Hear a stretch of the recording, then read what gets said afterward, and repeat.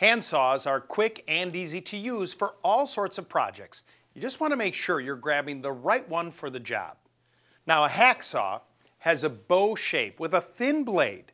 By adjusting the blade tension, you can make it more rigid, which prevents twisting or bending. And you can switch out the blade for rougher or finer cutting or reverse it, so it's cutting on the pull stroke. This saw is the workhorse for trimming and cutting metal or plastic. A carpenter saw or crosscut saw has teeth shaped to release the wood as it cuts. They commonly cut on the push and pull stroke. These saws are most commonly used to cut lumber where you're cutting across the grain. The more teeth per inch, or TPI, the finer the cut.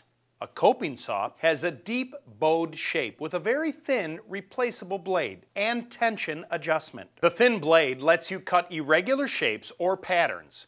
So this is your tool for cutting a curved profile on crown molding, baseboards, or chair rails. Jab saws have a sharp tip and stiff blade for plunging into a surface. Its shallow blade allows for cutting curves and contours. Use these saws to cut out a hole for a pipe or receptacle. This family of saws are lightweight and distinguished by a rib on the edge, which helps with control and precision.